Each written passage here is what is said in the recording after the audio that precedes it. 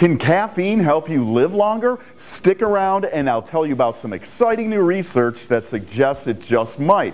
But first, a quick story of the origins of my interest in caffeine. Hey, coffee lovers, Marc here from WholeLatteLove.com. So, like many of us, I've had a long relationship with the world's most popular mind-altering substance. It began in college with procrastination-driven late-night cramming for exams. Then, in my mid-20s, I was diagnosed with cluster headaches, a form of migraine which produced the most severe pain I'd ever experienced. Now, one of the first medications I was given to treat the headaches was Cafergot. It's a combination of caffeine and ergot, which comes from a fungus which grows on rye and related plants. It worked like a charm for a few months, so being curious, I wanted to know why, and since that time, I've paid special attention to the health benefits of caffeine. Now, I'm not a medical researcher, just an interested observer, but when I hear of a potential health benefit of caffeine, I read the layman's version of the research and share it with others so they can make their own determination.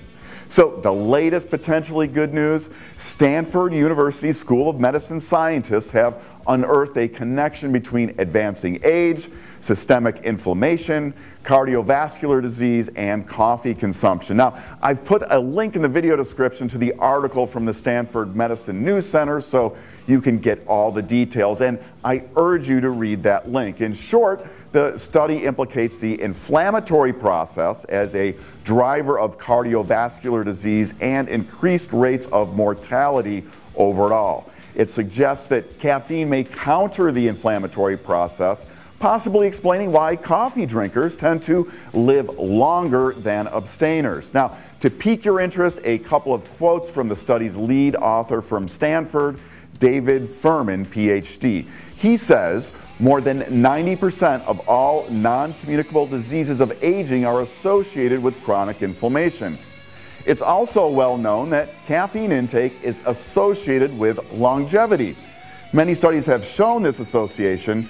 We found a possible reason for why this may be so.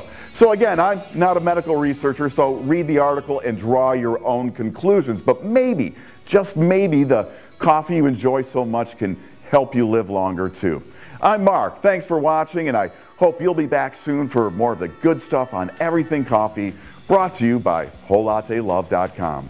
Hey, why not subscribe now for easy free access to more videos on everything coffee brought to you by WholeLatteLove.com.